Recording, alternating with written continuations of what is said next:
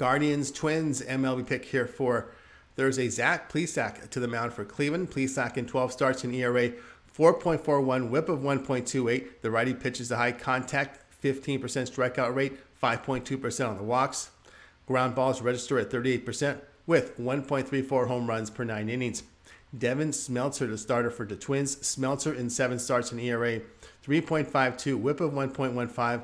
But the lefty strikeouts only 12%, 7.2% walk rate, ground balls at 45%, 1.64 home runs per nine innings, a FIP of 5.36, suggesting a significant rise in his ERA if these numbers hold. Guardians have won 8 of 10 with their 11 10 win.